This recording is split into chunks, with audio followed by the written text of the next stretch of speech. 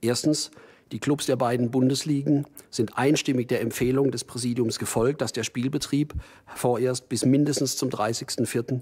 weiter ausgesetzt bleibt und bis zum 5.04. sollte auch das Mannschaftstraining unterbleiben, um die Maßnahmen der Bundesregierung konsequent zu unterstützen. Gleichzeitig entwickeln wir zweitens für alle 36 Standorte des Profifußballs Produktionskonzepte dafür, wie sich mit geringstmöglichem Personaleinsatz vorübergehend auch Spiele ohne Anwesenheit von Stadionzuschauern durchführen lassen.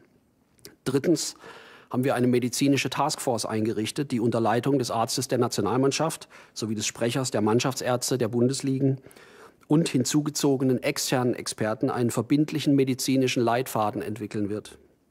Dieser Leitfaden wird im Detail klären, unter welchen Bedingungen sich bestmöglich Hygiene und Prävention bei der Durchführung von Gruppentraining, von Mannschaftstraining und im Falle der Wiederaufnahme des Spielbetriebs auch dort gewährleisten lassen.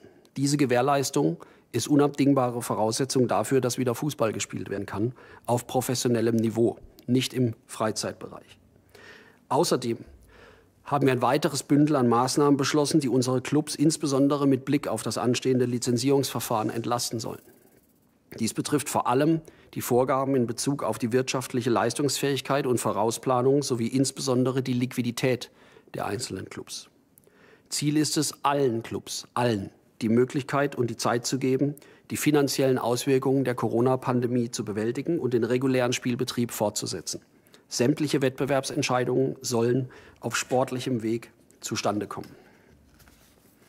Konkret bedeutet das für die laufende Spielzeit, dass erstens der gültige Abzug von bis zu neun Gewinnpunkten als Sanktion für eine Insolvenz ausgesetzt, äh, in der laufenden Saison ausgesetzt wird. Vielmehr wird bei eigenem Insolvenzantrag durch einen Club keine Sanktion in Form eines Punktabzuges fällig. Zweitens, in der kommenden Spielzeit würde im Falle einer Insolvenz ein entsprechender Punktabzug nur drei statt wie bisher neun Punkte betragen.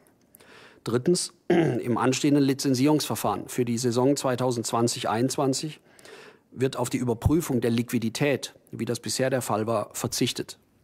Allerdings zieht die DFL die Überprüfung der wirtschaftlichen Leistungsfähigkeit während der nächsten Spielzeit vom Ende Oktober auf Mitte September vor.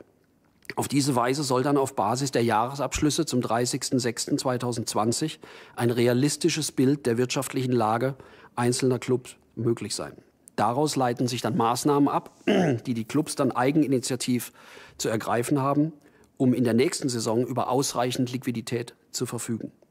Ab der Saison 2020-21 soll das Lizenzierungsverfahren wieder in der üblichen Weise angewendet werden, nämlich so, wie es bisher auch war, als Garant für die wirtschaftliche Solidität und Stabilität des deutschen Profifußballs. Alle Maßnahmen werden wir intensiv begleiten und gegebenenfalls eben nachsteuern.